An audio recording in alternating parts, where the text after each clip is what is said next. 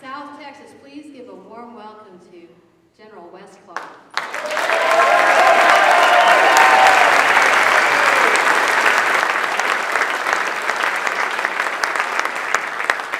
I'm here for Juan Garcia.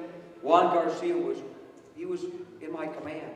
He was with me. He was on those endless video teleconferences and working in the operations center with my friend Jim Ellis down in Naples, Italy, when we were doing our business against Slobodan Milosevic and his Serbs.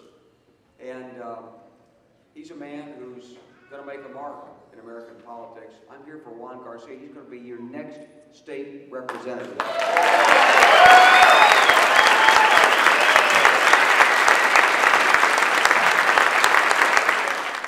His grandfather, Juan Garcia Sr., studied electronics via a correspondence course during breaks while working the cotton fields. Eventually, he would open up his own business, which would serve as the community gathering place.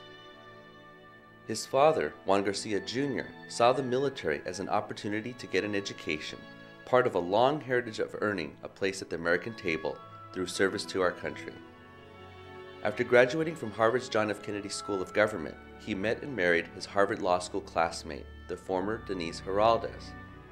After graduation, he chose to follow his father into naval aviation, and in 1998, Denise pinned Wings of Gold on his chest at Naval Air Station Corpus Christi, the same set of wings his mother had pinned on his father 25 years earlier. In 1999, he was selected to serve as a White House Fellow following the path of American leaders like Henry Cisneros and Colin Powell. In Washington, he served as a special assistant to the Secretary of Education. After multiple deployments to Kosovo and the Persian Gulf, he chose to return home to South Texas to raise their twin boys, little girl, and a new baby. When the stakes are highest, that's when the toughest Texans step up.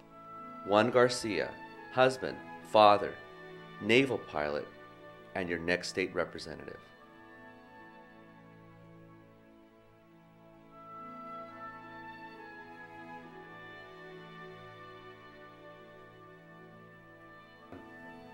I'm running for the Texas legislature because those who choose to go into teaching, the highest calling and noblest service, should be paid like the professionals they are and not forced to pay for necessary school supplies out of their own pocket.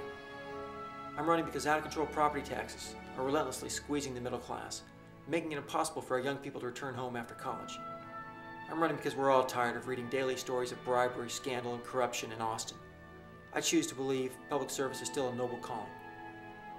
These aren't Republican issues, they're not Democrat issues. These are Texas issues. These are American issues.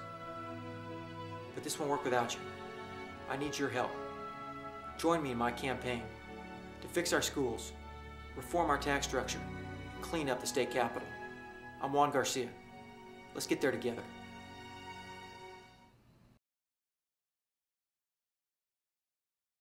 Juan Garcia. He's a UCLA, Harvard graduate, naval aviator, White House fellow, great biography, but more than that, he's a great human being with a great heart, and he wants to serve the people here in South Texas. Give him an opportunity. He'll make a difference.